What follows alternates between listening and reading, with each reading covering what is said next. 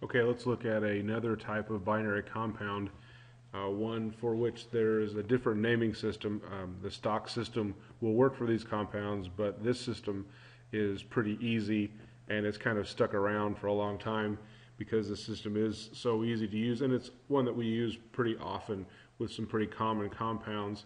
Um, here are some examples of some common gases that we've probably heard of.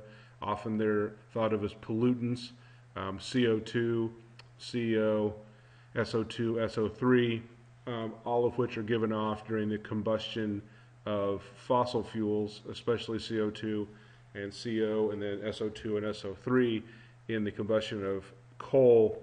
Um, actually, they've been cut down significantly by the use of anti-pollution um, processes, uh, scrubbing of the gases that come off of a power plant, for example, reduces the SO2 and the SO3 concentrations. And we're probably familiar with the names of at least the first couple of these. CO2 is carbon dioxide, and CO is carbon monoxide. And you can tell by the names they don't follow the naming system that we've used uh, in the past for binaries.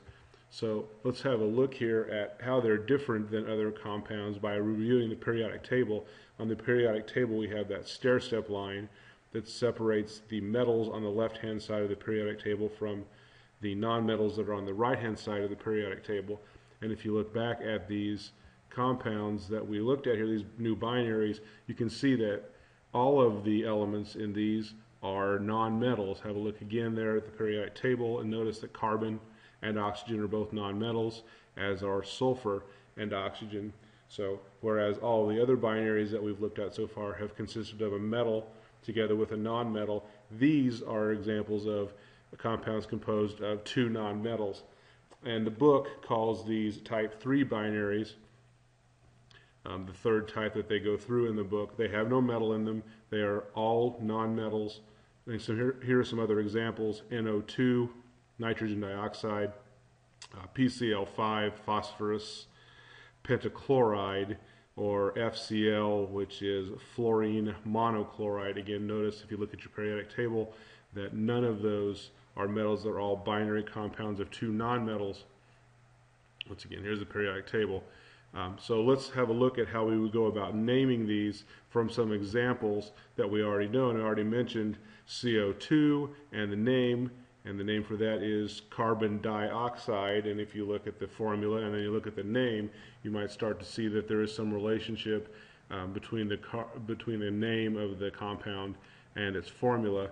Uh, again, this is CO, which is carbon monoxide. So we look for patterns here. We can see that CO2 consists of carbon and oxygen, and that CO2 has two oxygens and you might be familiar with the prefix di that means two. So carbon dioxide literally means a carbon and two oxygens, and then carbon monoxide, mono means one. So this is a compound consisting of carbon and one oxygen.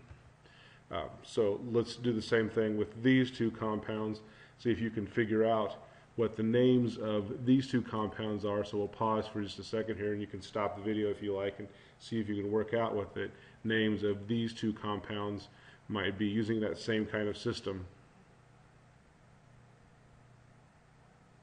Okay, so the first one of these consists of sulfur with two oxygens, and so hopefully you figured out that that is sulfur dioxide. And then the second one, sulfur with three oxygens, and that one is known as sulfur trioxide. So again, this naming system is pretty uh, straightforward and tells you exactly what's going on in the compounds. Now, we're going to need to know the prefixes, and um, so here is a list of the prefixes. You'll also find that there's a list of these on the fuchsia sheet, the fuchs that we got the other day. Um, after six, you can go up higher than six, and you're just going to use the geometry prefixes that you've learned before for seven, eight, nine, ten. Now, it is possible that you're going to, going to when you have to make a word out of these, change um, the prefix slightly in order to make a word pronounceable. We'll have a couple of examples we'll look at here. So when we go about naming these binaries of two nonmetals, and remember this works only for binaries that have just two nonmetals, the naming is pretty straightforward. It's just the name of the first element, and then you name the second element, which, you put the "ide" ending on it.